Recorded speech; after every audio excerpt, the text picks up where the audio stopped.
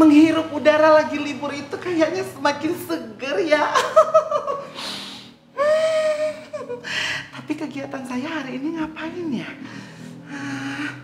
Apa saya pergi ke tempat pijat? Supaya dipijat sama berondeng-berondeng. Tapi enggak ah. Saya takut nanti salah pijat, tulang ekor saya malah patah dia buat. Jadi ngapain ya? Hmm. Saya ratus vagin gini ya? Biar bakteri-bakterinya mati semua. Tapi gimana ya? Tapi saya malah lebih senang menghirup udara libur di rumah saya. Siapa lagi nih yang nelpon ini ganggu orang lagi menghirup udara libur aja. Eh, Bu Lura. Ngapain sih tua bangka ini nelpon? Halo?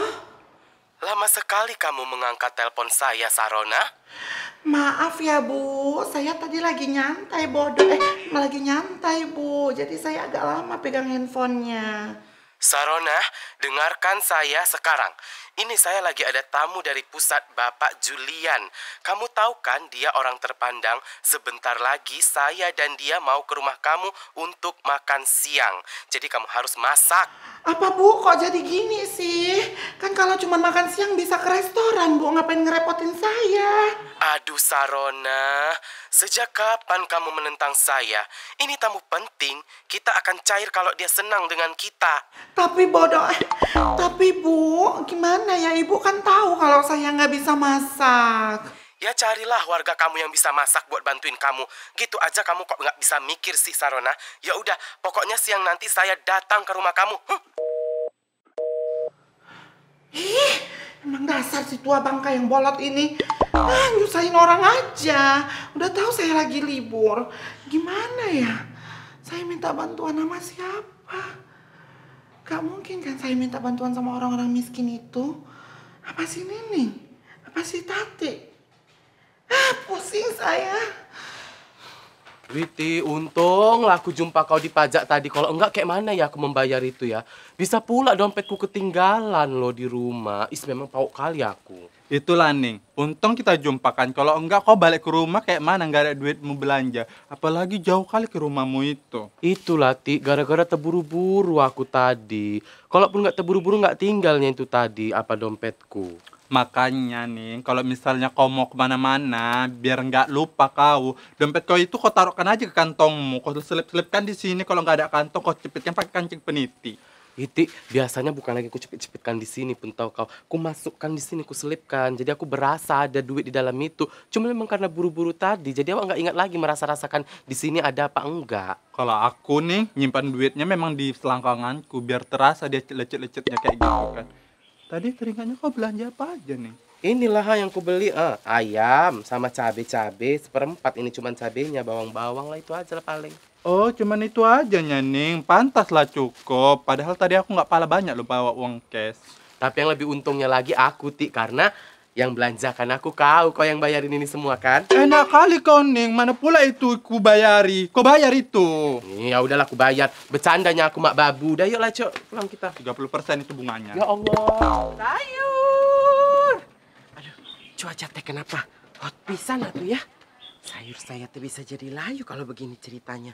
Saya tutup dulu biar sayur saya terlayu. Mm. Nah, begini. Sudah aman. Sayur! Pas sekali ada si Piccolo di sini. Saya sepertinya belanja aja sama dia. Piccolo, sini. Eh, Ibu Kepling? Naon atuh, Bu? Sini dulu kamu Piccolo, muter dari sana ke sini. Saya mau beli sayur-sayur layu kamu yang nggak higienis itu bodoh. Aduh, Bu Kepling mulutnya ganas pisan atuh ya. Ya udah sebentar atuh. Saya mutar dulu ke sana ya. Gitu dong, kalau disuruh itu langsung jalan, langsung mau. saya suka dengan orang-orang bodoh yang bisa saya atur-atur. Ibu teh mau beli sayur apa? Nih, sayur saya teh lagi seger-seger. Piccolo nenek kisut, kamu hari ini jual sayur apa aja bodoh? Ya sini dulu atuh, Bu. dilihat-lihat dulu. Ini sayur saya teh ada banyak, masih lengkap semua tuh. Hah, masih seger-seger. Sayur-sayur orang rakyat miskin. Apa higienis bisa digiling sama lambung saya? Bu Kepte kalau mau menghina jualan saya, lebih baik saya pergi aja tuh. Jangan seperti itu. Saya nggak maksud menghina bodoh.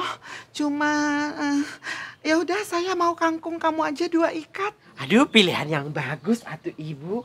Nggak sekalian, ini ada daun singkong juga. Temau ibu, ini ada kacang kecipir panjang, kacang kecipir. Ini apa nih, bantet juga ada tuh ibu. Nggak usah em, nanti sayurnya kebanyakan mubajir. Ini hanya untuk sekali makan aja bodoh. Ya udah kalau begitu atuh teh. Eh, jadi ini dua ikat semuanya jadi 20 ribu atau ibu? Dua puluh ribu? Sayur apa itu bodoh kok mahal sekali? Masa lebih mahal sayur daripada harga diri kamu? Ya udah kalau begitu saya diskon atuh ya. Jadi 35 ribu wae atuh ya. Piccolo, kamu itu sekolah nggak sih? Kamu itu nggak pandai berhitung ya bodoh. Sepertinya otak kamu itu nggak pernah mengenal bangku sekolah ya. Aduh, mulutnya teh kasar pisan atuh. Jadi ibu teh maunya gimana atuh ini? Hah? Protes selalu. Piccolo, biasanya sayur seperti itu 2000 satu ikat ya. Ini kok kamu dua ikat 35 ribu. Eh, kalau segitu saya terdapat untung atuh ibu. Saya bisa rugi. Tapi karena eh, Bu Kepling teh pelanggan pertama saya, ya udah atuh saya kasih wae nih. Tenan naon lah. Ya kan emang harganya segitu Piccolo. Saya pusing lihat kamu. Kok bisa orang kayak kamu jualan? Nah ini uangnya. Ya udah nih atuh. Hah, kayak begini ceritanya saya teh bisa rugi. Tapi tenan naon lah. Ya udah saya pamit atuh ya. Sayur! Sayur! Memang dasar tukang sayur bolot. Hmm. Ini sayurnya udah ada. Tinggal lauknya. Siapa ya lagi orang yang saya suruh? Kenapa lah kau tati belanja sampai simpang limun sana? Biasanya dekatnya di sini ada bisanya kau beli donsop. Bukan kayak gitu loh, Ning. Di sini kan lagi langka daun sop, nggak ada lo ku cari-cari di sini. Makanya aku simpang limun sana. Ini aja aku stok loh. Masa sih langka? Kayaknya tempat butet pun banyak loh. Nggak ada. Pas sekali ada janda Meksiko sama janda Guatemala lewat dari sini. Hei Nining, Tati, sini ada bansos. Apa bu? Bansos? Iya bentar-bentar. Memang dasar orang-orang miskin yang kekurangan duit. Kalau dibilang aja bansos, langsung aja cepat. Dasar rakyat-rakyat jelata. Sih. Ih, cepet kali kalau bangsos kalau. Ayo cepat Nining, Tati. Kau kalau bangsos cepat kali kau. Iya Allah nggak apa-apa lah bu. Mana bansosnya bu? Maaf ya janda-janda pemburu bansos. Sebenarnya saya mau ngasih kalian itu yang lebih dari bansos, bodoh. Iya alhamdulillah. Seriusnya itu bu? Apa bu? Gini, jadi saya kan butuh orang untuk bantuin saya masak di rumah. Nanti saya kasih upahnya buat kalian. Mau? Oh alah bu, bu kenapa nggak bilang sih dari tadi? Bilang bantuin masak aja gitu udah. Aku nggak apa-apa bu, maunya aku yang penting ada uang capeknya kan bu. Sekalian lah bu si Tati juga bu. Eh, kau aja lah, Ning. Nggak mau aku membantu ibu ini. Dia udah sering nginain nami sopku katanya beracun lah apalah segala macam.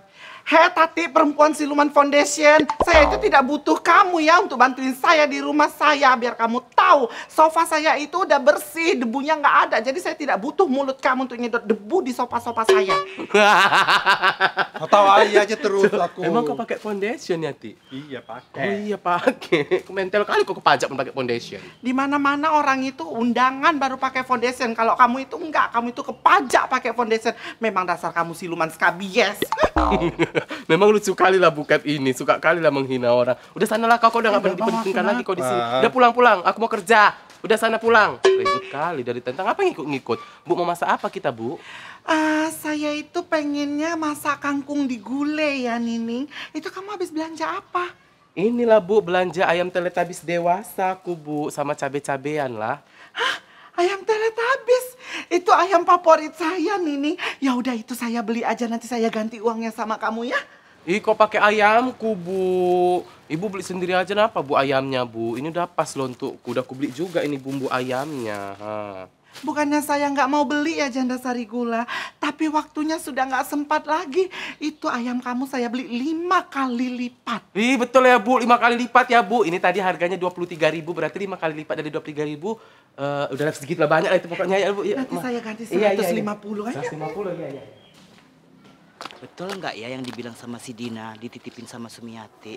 Kebuka kok pintunya, coba aku tanya dulu. Sum, Sum, Sum. Apa Kak Is?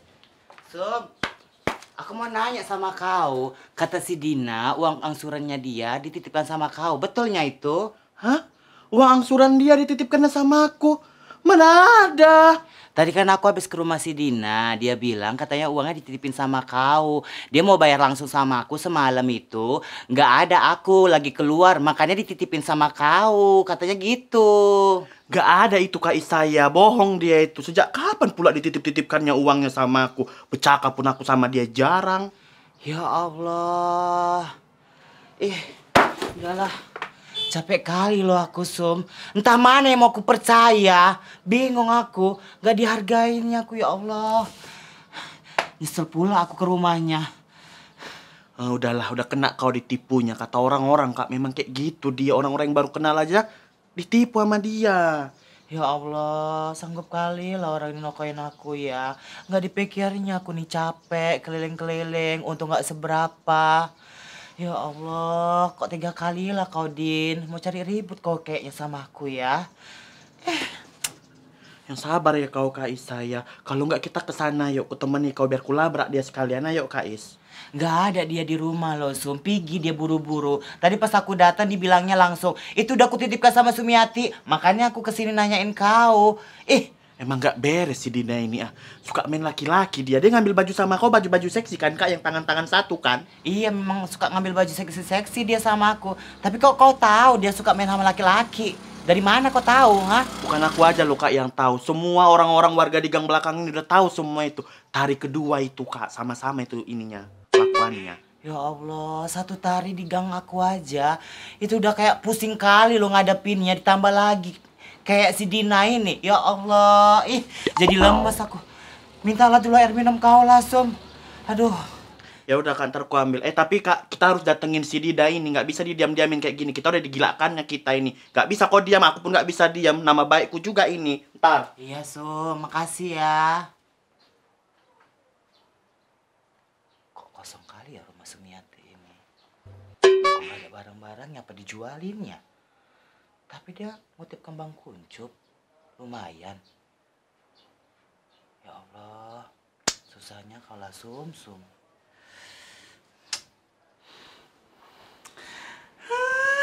Senang sekali saya Nini. Akhirnya masakannya udah selesai. Tadi saya icip-icip makan masakan kamu itu enak banget loh Nini. Ih, pasti enak lah, Bu. Namanya awak lulusan sekolah masak luar negeri ya kan di Oxford. Kelihatan sekali kamu bohongnya ya Nining ya. enggak loh, enggak bohong loh aku, Bu. Bu, udah lama mana upahnya? Aku mau masak lagi di rumah. Uang ininya kan tadi cepet limpul, upahnya suka hati Ibu lah berapa. Yang penting jangan dikit kali ya kan. Tenang Nining, kalau masalah uang sama saya gampang. Nah, ini saya kasih 300 ribu. Uang ayam tadi 150 ribu. Upah kamu 150 ribu ya bodoh. Iya, alhamdulillah. Baik kali Bu Kepling ah udah berubah deh sekarang udah nggak kayak dulu lagi. Ya ampun, Bu makasih banyak ya Bu. Kayak gini kan enak Bu. Tapi kalau misalnya Ibu mau nyuruh aku masak lagi nggak apa-apa. Tapi jangan masak yang aneh-aneh. Aku nggak pandai. Ya kan saya sebenarnya aslinya dermawan Nining. Saya memperhatikan orang-orang susah kayak kalian. Bu Lura nelpon. Tunggu sebentar ya, sepertinya mereka udah deket.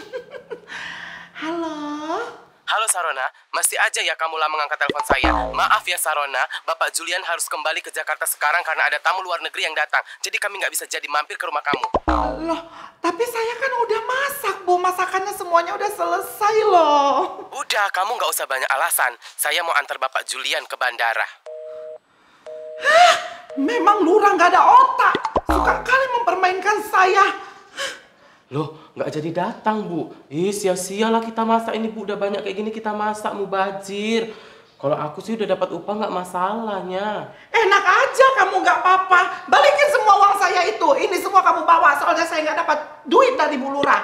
Ih, nggak mau lah aku, Bu. Ah, orang ibu yang kena prank sama Bu Lurah, kok aku pula yang menanggungnya. Nggak ada, nggak ada kayak gitu, Bu. Udah ini uang aku ini. Kamu pulangin nggak duit saya? Jangan sampai saya emosi, saya congkel biji mata kamu pakai ini. Pulangkan!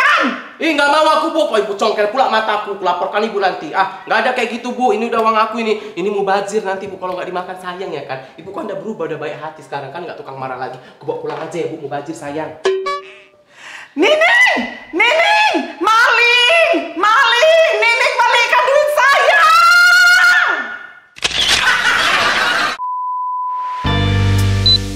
Tadi kan barusan aku ke rumahnya si Dina ya kan Kata dia dia mau bayar sama aku Cuma nggak ada orang Ulang yuk Aduh, mulutnya kasar pisan atuh si ibu ini teh. Ah, saya jadi bingung mau ngomong apa lagi. Apa tadi nih? Iya iya Oh ala bu, bu kenapa lah nggak jujur aja dari tadi bilang bantuin masak gitu kan enak orang tahu ceritanya. Ya nggak apa-apa sih aku bu mau aku yang penting ada kan bu uang-uang capeknya jelas aja nya nanti janganlah nggak jelas. Sama tadi juga lagu biar kita masaknya biar cepet. Enggak lah Neng, males sekali aku dibantuin sama ibu ini.